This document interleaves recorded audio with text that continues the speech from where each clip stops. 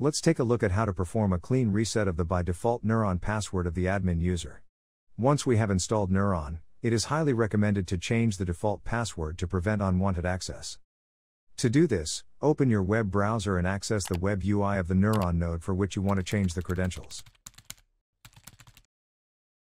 The system will now ask us to introduce our username and password, so I will type mine in and click on the blue Login button below.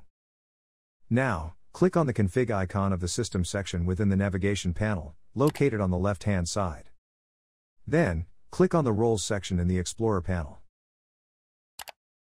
Now, click on the Users Groups menu inside the Roles section.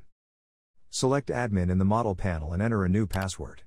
Try to select a strong one according to the best security practices. Enter a new password. Don't forget to save the changes by clicking on the Save button below. To check that you have successfully changed it, click on Logout button located at the bottom of the navigation panel, and this will redirect you to the registration panel again. Finally, introduce the new credentials and check that they have been changed correctly.